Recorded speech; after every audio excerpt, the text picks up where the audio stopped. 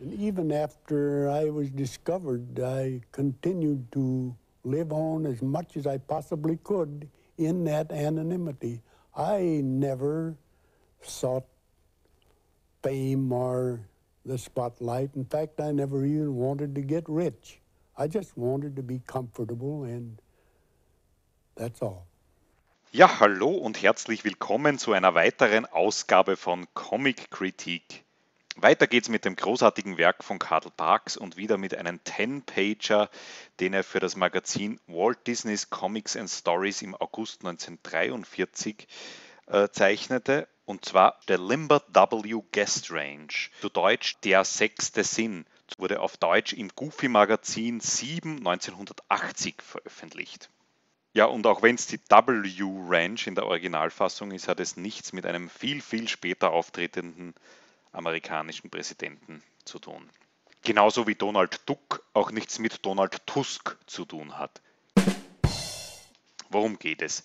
In der Geschichte besuchen Donald und seine Neffen eine Ferienranch, um einen Ausritt zu machen. Ja, die Geschichte ist dann eigentlich recht schnell erzählt. Donald verirrt sich und kann es aber nicht zugeben vor seinen Neffen und tut immer so, als wüsste er noch, wo es lang geht. Und dabei verirren sich die vier Enten immer mehr in der Wüste der USA. Dick, Trick und Track versuchen dabei wieder ihren Onkel auf den richtigen Pfad zu führen, ohne dass er merkt, dass sie ihn beeinflussen, also ohne dass er praktisch sein Gesicht verliert. Auch interessant ist die Zeichentrickfilm-ähnliche Szene, in der Donald aus einer gashaltigen Quelle trinkt und dadurch sich aufbläht wie ein Luftballon und auch so aufsteigt.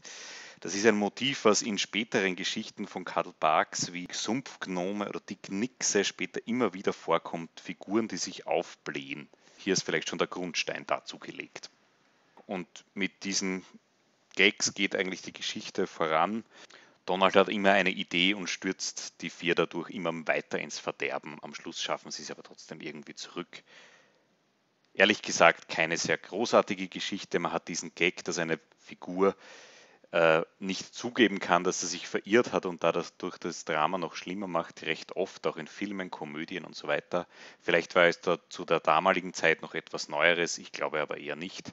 So muss man trotzdem dazu sagen, dass die Struktur der ganzen Geschichte funktioniert, denn die Katastrophen, in die Donald seine Familie von Gag zu Gag stürzt, werden auch von Gag zu Gag katastrophaler. Also eine wirklich gut funktionierende Struktur, wie gesagt, aus heutiger Zeit vielleicht ein bisschen oft gesehen.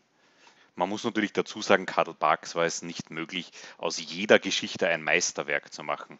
Man muss denken, er hat von 1942 bis 1966 monatlich ein so eine Zehnseiter Geschichte gemacht. Und zwar von der ersten Story-Idee bis zur letzten Tuschezeichnung ganz allein.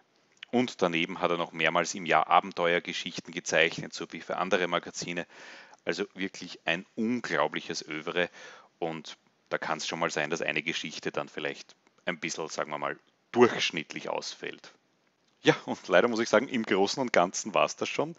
Danke fürs Zuschauen. Äh, immer schön liken, sharen, adden und so weiter. Und bis zum nächsten Mal bei Comic Kritik. Pfiat Enk.